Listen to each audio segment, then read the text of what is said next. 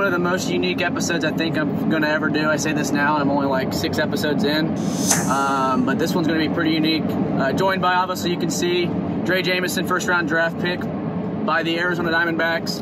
Uh, we're taking a cruise, going down the back roads, and actually one of his uh, new vehicles made a big boy purchase. I'd say more than a big boy purchase. This is like a dream purchase. And uh, for somebody who deserves it, living in a small town, I guess not too small of a town, but living in a town where, where if you don't know somebody, um, if you if you don't have a relationship with anybody, then you're not going to. Uh, if something happens, you'll know about it. It's, it's not that big of a town to where uh, you can get away with anything. It's also not that big of a town uh, when you do something good that the community's going to know about it. And Drey Drey has been uh, such an accomplishment to not only just the Hancock County community, but also to the Greenfield Central community uh, in Greenfield Central High School. I got the chance to play with Drey one year at Greenfield um, uh, on the baseball team, and I would have got a chance to play with him uh, a year at Ball State as well, but I stepped away for, for other reasons and other circumstances. And uh, Drey uh, had some had some exceptional years there before he got picked up and drafted last year by the Arizona Diamondbacks in the first round, uh, where he now is. Had had a half of a rookie season in and went into spring training got shut down. So Drey I appreciate you taking the time to uh, hop on this and kind of give everybody a, uh, an idea of what's going on in your world and, uh, and and where you're at right this second. So I guess to kind of kick off um, don't getting drafted I guess rewind back to getting drafted. What was that just experience like in a whole? I mean it's one of those feelings I don't think anyone ever can uh, relate to yeah, I mean, uh, it's a dream come true. You know, I've dreamed of this for my whole life is to get drafted and, you know, play professional baseball and keep competing at the highest level. Um, and, you know, on that on that night, that's something I dreamed of my whole life. And, you know, when my name was called on the 34th pick, it was, it was definitely a relief, but also a, a thing where I'm going to have to keep going because I'm not to where I want to be. I want to be the big leagues playing for a World Series. So, um, yeah, I mean, that, that day was by far the best day of my life, but the best day of my life has not come yet. So when I make a big a lot of people don't don't understand like how, how awesome it is to to go into your first rookie season in spring training because you're not just seeing guys you played with in rookie ball. You're seeing the big league guys walking around, uh, maybe not necessarily in the same fields and whatnot. I mean, what was that first? What was that experience like? You know, waking up in, in, in Arizona, in Scottsdale, Arizona, and you know, going into spring training day one. What kind of give us a little idea what that felt like and what it was, what the atmosphere was?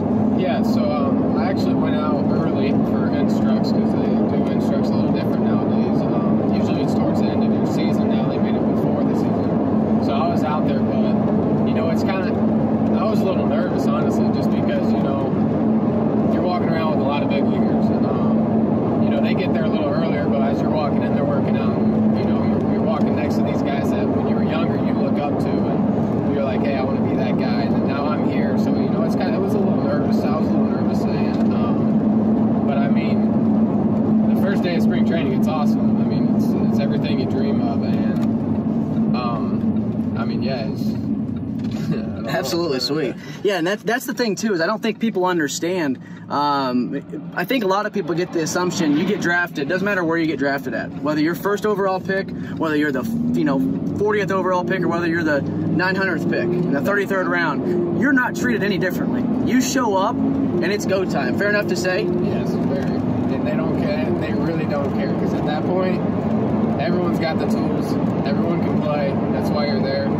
They don't care where you got picked. It's now who's going to be the best guy and who can compete for a, a World Series and help and help the Diamondbacks in a high situation win the World Series. They don't care who you are. They don't care what pick you are. It's who's gonna who's gonna show up and who's gonna who's gonna play. I think that's important for people to know because you get. I'm sure you get a lot of people that maybe call, text you, or have that conversation. I just know, I know this for, from experience with with friends and family that have gone through the training spring training process. Um, you guys, the minor leagues isn't all what everybody makes it up to seem like, or even just. Uh, being drafted. I mean, being drafted one is an amazing experience and super cool. Um, but at the end of the day, you're going to compete with the other thousand people that are there that day. That other thousand people that are that are strapping it on, putting their pants on the same way you are, because uh, the the Diamondbacks, the big league club, isn't worried about where you were drafted. They're worried about who, gonna, who they're going to put the best team together this year and to give themselves a chance to go win a World Series. Exactly. Um, I, I, guess going, you know, spring training. Where were you at physically, um, and where was your arm at? I mean, were you were you a couple bullpens in before they sent you home, or kind of run us through where you were where you were at prepared wise?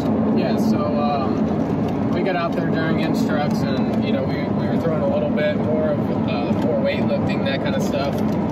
But um, yeah, I mean, I, I 13 bullpens in, two live bullpens in, um, and you know I, I thought to my like for me myself, I, I I was doing stuff I needed to do, such as you know fastball command was huge with me. I needed to work on my fastball command, and you know I, I felt like that was coming along really well.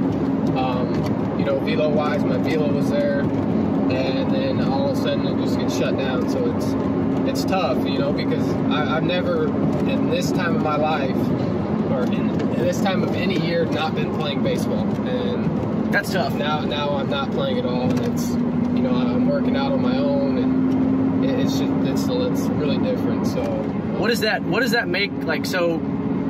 I think I asked you this question maybe personally the other day, like when you when they say okay you're shut down we're not you know this because of the coronavirus you're not to train here anymore um, you know the big league club that, that affects a lot of those guys that are on that 40 man roster a little bit more than you. And i'm not saying that you know you don't mean that in a bad way because um, they've been there done that they're veterans. I mean where does that put them in a stance of, of you know getting to work out and having the tools and the equipment to do so?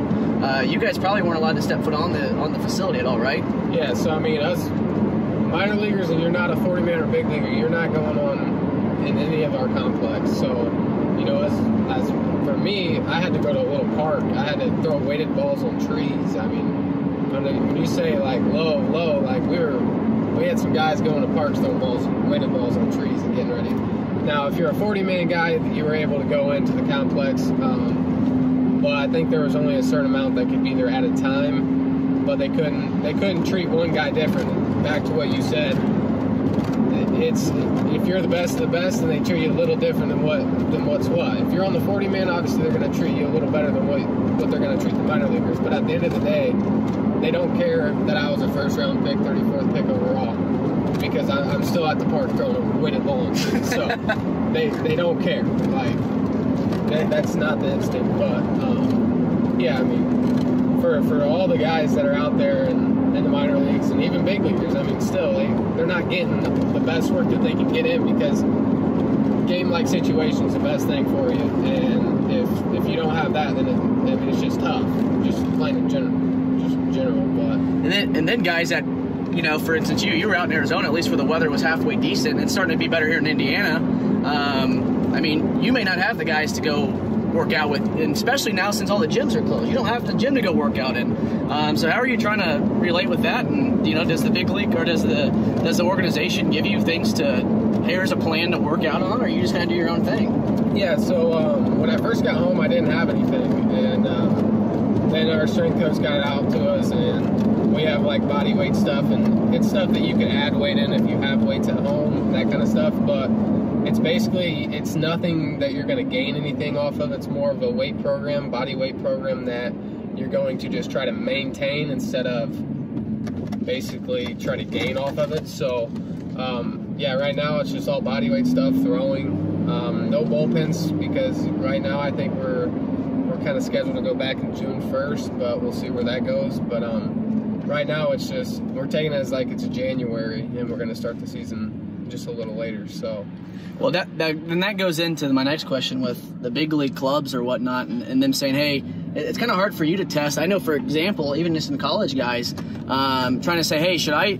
I know I'd be mid-season form right now, or you know, because a lot of those college guys were, you know, they were getting ready to start conference conference games. So for those guys, it was you know, the question in the back of their mind is should I, should I continue to mock like I am pitching every Friday night?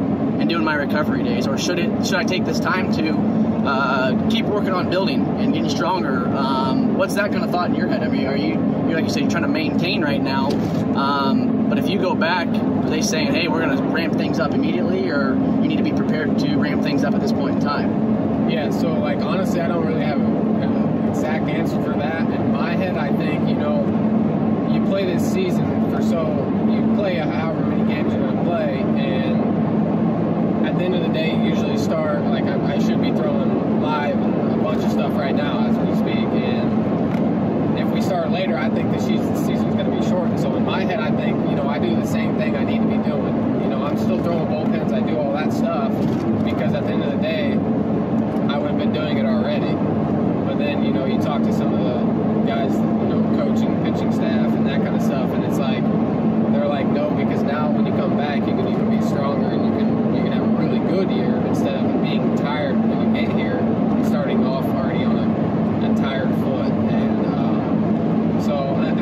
mix in between of what I think, what they think. Um, but I mean, they have that job for a reason, so you know I'm gonna stick with what their plan is and uh, just go with it. Yeah, and that's that's I guess the toughest question I mean, I'm, with me coaching summer baseball and high school kids, the question is, coach, should I continue to work as if I was pitching Friday nights like a conference doubleheader night, or what should I do? Uh, you know, I'm advising, hey, just continue to continue to have that mindset of I'm going to throw a bullpen. Whether you have the tools, whether you have the catcher to do so, it could be tough. That's probably something you're dealing with. Yeah. Um, not a lot of guys can catch somebody that throws upper nines or even 90 mile an hour at all. So I guess that's kind of a big issue as well, is you not having that catcher you can go throw a short bullpen to. If you know organization and your pitching coach says, "Hey, we're going to start throwing light pins now. We're going to ramp it up ten pitches a week, yada yada yada." That's got to be a pretty big issue for you. Um, you know, but I guess re- referring back to the offseason when you were you got called into instructs a little early, what was that like? I mean, I don't think I don't think a lot of people understand when you get called back when you get called in to instructs early prior to spring training. Um, that's kind of a big deal, and I think they, you know, not just because you're a first round draft pick, but I think that means something as a they think pretty highly of somebody like that. Yeah. So I mean, it's definitely it's a good thing to go for instructs. Um, it just makes for your off season not very long, but I mean, as you know me, I I love baseball, so I was all for it. You know, we went to the Dominican. We, I mean, I didn't really have like that big of an off season that much. So now looking back on it, had your full, you know, had a had a rookie season, I guess, per se, in rookie ball, and then, you know, getting to start your first. You haven't had a full spring training, which I think kind of sucks, but you'll, you'll get to experience that hopefully sooner rather than later. Um, you know, being a young kid growing up, maybe not having the, the best of the best or, or much of anything. I mean, what is, how does that feel to you and your heart and your family? I mean, that's got to be one of the in my eyes, you hear these great stories of people who, you know, grow up, you know, having, you know, all this money and, and all this fame and stuff like that, and then, you know, they just throw everything out of the way. I mean, what does that mean to you? I mean, that's that's got to be a big thing to your heart that just kind of, you know, made you kind of say, you know what, I've worked my ass off for this, um, and I'm, i deserve it, and I'm, you know, has that has that clicked to you at one point yet? Yeah, I mean, you know, growing up not the best lifestyle as everyone else. I mean, not not everyone, but. You know, it makes you want to, it makes you work harder. Um, you know, I, I, wasn't, I wasn't fed with going spoon or any of that kind of stuff. You know, my mom worked two jobs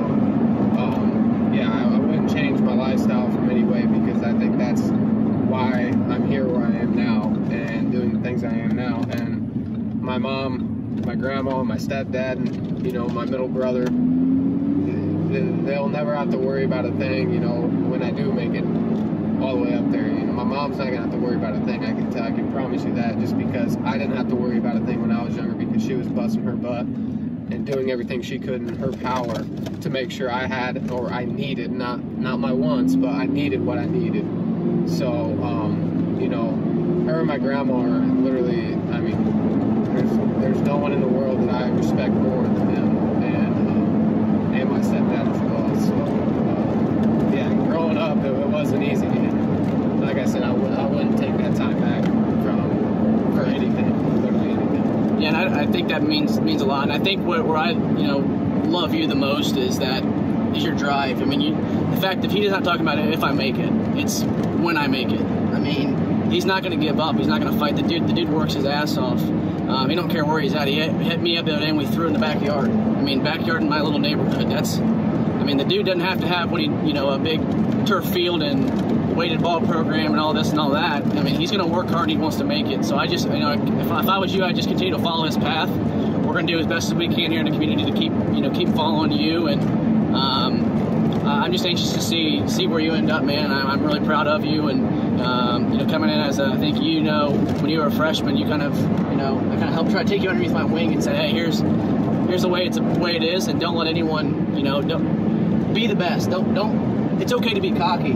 It's a, it, it really is okay to be cocky and say, you know what, I'm gonna step on this field, and there's nobody better than me. Whether you're five foot five, whether you're five ten, whether you throw at 98, whether you throw at 108 that's the way I took it. I'm gonna go on the mound. I'm gonna compete, and I think you take that same aspect of it. And I, I love that about you. And I don't think I think a lot of people, if there's something people could take away from you, I think that's probably something you would say, right? Yeah, I mean, I, I would say what separates me from a lot of guys my competitive fire. Um, I, I, I would put my life on it to say that there's not anyone that's more competitive than me. Um, I bet you're different. And I mean, I know you're competitive, but Saying, like, it, it, doesn't matter if it's if it's a board game, if it's ping pong, pool, baseball. It doesn't matter. If I suck at it, I'm gonna try to beat you, and then if you beat me, then I'm gonna say let's go again until I until I beat because it, that's just that's just something in me. And I think referring back to how I grew up, it's I, I don't like to lose. I don't. I, I just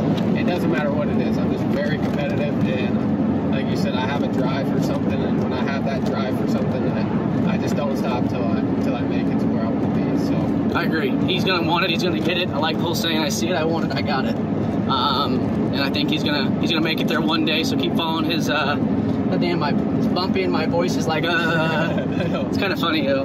Um, but you know, keep following Drey. Keep doing. You know, watching what he does. Um, one thing I, I want to ask you before we uh, pop off here um, and break break away is, you know, Drey, what what, uh, what what are some hobbies that you have? I know back in high school and throughout college, you were a uh, shoe a shoe head, or what people like to call it, yeah. um, where you'd buy you know nice shoes, flip them, sell them, all this type of deal. Uh, you still have that hobby, or what's what's the hobby? Obviously, buying cars, nice cars, is something that's starting to take over. Um, what was that first purchase, or what's what's the hobbies now, and what was that first purchase that led to that hobby? Yeah, so I I've always had a shoe addiction um, since seventh grade, I should say. I mean, it took off because I mean, back when I was in high school, I didn't have any money like to be able to do stuff. So you know, I made a, I made a good enough money to do what I wanted off shoes. Um, so I would buy, sell, and trade everything with shoes. That's how I made money in high school, and I mean, still to this day, I still do it. Um, I have a lot of shoes. Um, and then now I like cars. I love cars. I've always loved cars. I just never had the money to get cars that I want and sell and trade. But even in high school, starting in high school, when I got my first car, it was a Jeep Liberty. It got stolen from out of Greenfield. Um, kind of crazy, I know. I never thought that would happen either. And so then my, you know, my mom and stepdad figured up, got me a little Mustang V6, and I had that for maybe five, six months, and then I sold that, and then I got a Mustang GT, sold that, bought a, char- a Charger, and then I sold that, and I just, I've just worked up from literally from I've had I think I've owned 13 cars now, 13 different cars, um, and it all started back in high school when I had a little Mustang V6, and now I finished off with that. From all that stuff, I had a ended up with two thousand dollars in and I had a 2010 Camaro SS. Mom's always like, why are you always trading these cars? And, I, and my thing was, is if you look at the car I had and the money I have in this car I have now, it's a huge upgrade. I mean, it, I, I've finagled and, you know, such as the word called hustle. You know, that's what I did. Uh, I was hustling a little bit with cars, trying to get the car I wanted. And it happened. And then now I'm, now I'm into cars a lot, shoes, definitely my hobbies for sure. Well, that's good to know. And a lot of everybody, you know, you see people that that oh, you know, they maybe not have a big signing bonus, oh, they just go blow all their money. Um, Uh, that's not the case, I don't think, with you, especially having conversations. It's it's more of the thing of, you know, he worked his butt off for this, and he's going to reward himself, um, and you know, he's going to make it happen one one way or the other. And I think you should just, you know, hop on his train and watch him grow and watch him succeed. Uh, last question I ask everybody, Drey, for those people who have their mindset down a path here, um, looking forward to have path A and path B, and they're not sure what path to go down. What would you say a piece of advice would be for people? Well, um, I don't know what path A or path B is, but depending on. A better question: They have 50% going down one way and 50% going down the other. Take, you, you, you want to take the path that you think is going to fit you best. Uh, you know, for me, it was you know, am I going to work my tail off am I going to do everything I can to work, you know, work hard at what I want to do, or am I going to try to think that I have the talent, I don't have to work hard and just go with the flow? And you know, I went the opposite way of that because you can only get so far with talent and skill. Um, you, you, have to, you have to be dedicated to what what you want to do in life, and you know what I want to do in life since I was literally seven years old is I wanted to play professional baseball, not even necessarily professional baseball. I want to be a professional athlete, and that's always been my dream. And I knew from at a young age that you're not going to be. I would never make it to be a professional athlete without putting in a lot of work. So, um, you know, I took I took that path, and you know, you just when you dream something, you just go with it. You don't stop. You don't you don't ever think it's too big. You know, because I was always told my whole life, you're gonna, you're too small. You're, you're not gonna, you're too small to be, to be a professional athlete or a professional baseball, for instance. But, and you know, that's that drove me a lot because I was like, you know, I, I just don't see how size can matter. And you know, it, it paid off because I, I worked, I worked, and I worked, and I mean, now I am where I am, and I'm not stopping anytime soon. Well, good. Well, Drey, I appreciate you taking the time to hop in the car here and talk. Want to make this a little, little different when you want to give me a ride in this nice car. Uh, I'll, I'll, uh, I'll, shoot at the end of this video. I'll, I'll, put a little picture of it, just a little glimpse of it. But uh, uh you know, hard work does pay off if he's going down that path of hard work and you think that there's a path easier that you can just ride along with, that I'd say uh, you're probably not going to succeed there. So, uh, you know, Hancock County, appreciate you tuning in. Hopefully you all enjoyed. We'll have another episode maybe when we get Drey sit down and talk a little bit more, um, maybe here in the next couple years or so when he pops pops on the big league uh, squad and on the big league TV, watch this on MLB Network. So, uh, Drey, appreciate your time, my man. And uh, if you have anybody shout out, now's your time. Yeah, thank you. I don't no shout out to in, in Gibson. So hey, for catching me, you know, because there's not many people in Greenfield that can just that I can actually go out and throw. You know, and I appreciate your time for letting me come over and stuff and throw. Absolutely, I'm always here. We're all here to help. Um, you know, don't forget, please subscribe to the YouTube channel. You'll like me, follow me on Instagram and Facebook. Uh, and hopefully you guys enjoy this video, this episode. And uh, remember that you can make a difference in someone's life today, Greenfield. See you later.